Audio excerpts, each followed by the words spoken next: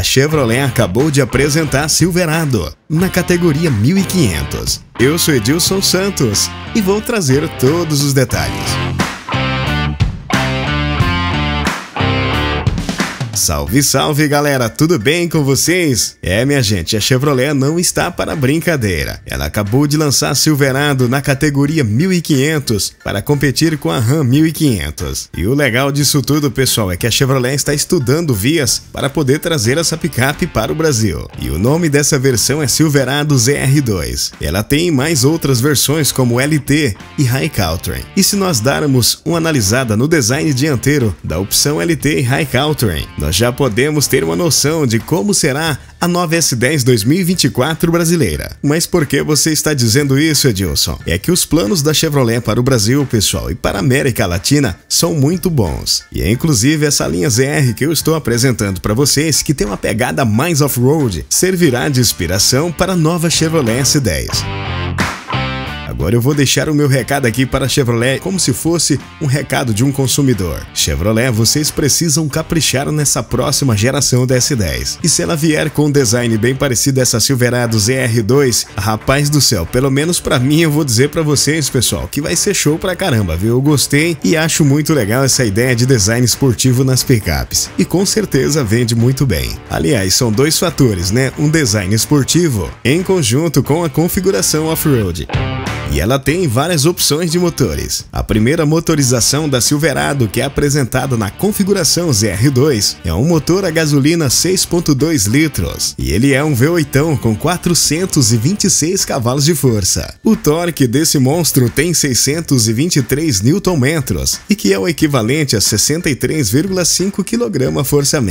A transmissão é automática com 10 velocidades, contra a potência da Ram 1500 Rebel que temos no Brasil, com um motor de 5.7 litros V8 e uma potência máxima de 400 CV. O torque tem 556 Nm, que é o equivalente a 56,6 kgfm. A transmissão dessa motorização da Ram 1500 é automática com 8 velocidades. É, nesse caso a Chevrolet Silverado detonou a Ram em potência, mas as outras configurações da Silverado, como a LT e a High Country, têm outras motorizações. São equipadas com a motorização a gasolina 2.7 turbo, com 4 cilindros e uma potência máxima de 314 CV. O torque tem 568 Nm, que é o equivalente a quilograma-forçamento de 57,9. Também há outra motorização a gasolina 5.3 V8 com 360 CV e um torque máximo de 519 Nm, que é o equivalente a 52,9 kgfm.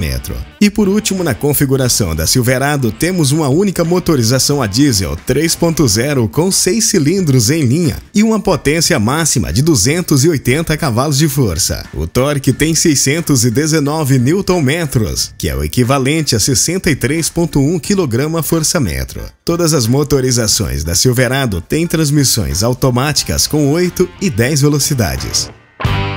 Como eu disse para vocês, pessoal, na dianteira essa configuração da Silverado ZR vem com inovações no seu design, que será apresentada também na nova Chevrolet S10. É, e o que eu gostei aqui pra caramba, pessoal, foi o desenho da luz de condução diurna. Ele deixou a picape com a pegada bem esportiva. A grade frontal traz uma nova assinatura de design da Chevrolet. Como de sempre, a iluminação da Silverado tem um design bem retilíneo e o para-choque dianteiro foi projetado na configuração off-road. O capô da picape tem vincos bem esportivos e acessórios off-road. Na traseira, a picape tem uma caçamba bem elegante, com abertura automática da tampa da caçamba e duas opções de abertura. Essa configuração ZR vem com a suspensão especial para você fazer trilhas e transpor obstáculos que uma picape com suspensão comum não consegue.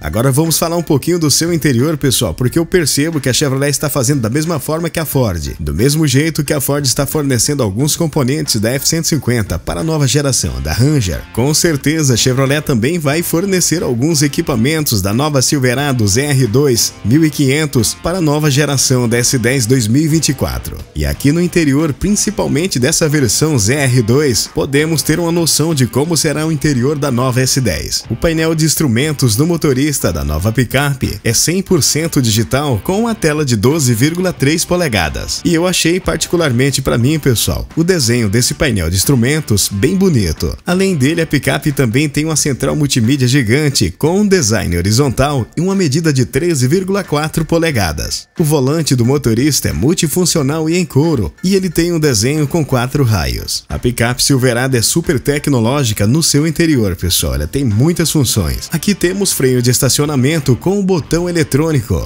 um sistema 4x4 com bloqueio do diferencial, ar-condicionado com dupla zona de climatização, um câmbio para troca de marcha super estiloso, botão start-stop para dar partida no motor com a chave presencial, bancos elétricos com revestimento em couro, um teto solar eletrônico, e muitos itens de assistência à condução aqui no interior que eu já vou explicar para vocês na categoria de itens de assistência à condução ao motorista.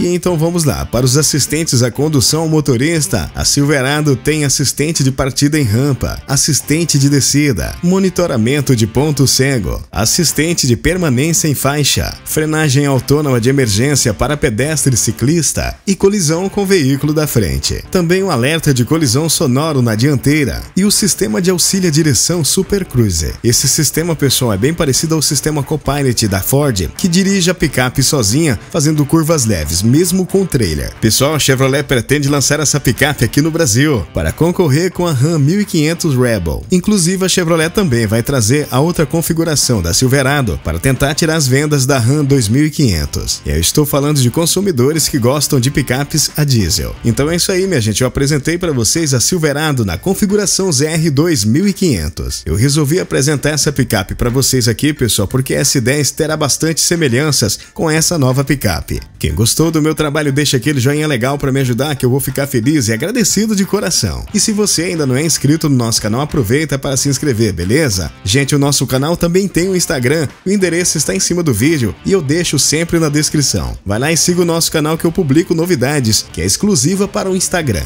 Galera, eu vou ficando por aqui, eu agradeço a companhia de cada um de vocês. Se você beber, não dirija, perca um minuto na sua vida, mas não perca a sua vida em um minuto no trânsito. Que Deus abençoe a todos, que Deus abençoe a família de cada um de vocês até o próximo vídeo. Bye bye, tchau, tchau, hasta luego e tchau, obrigado!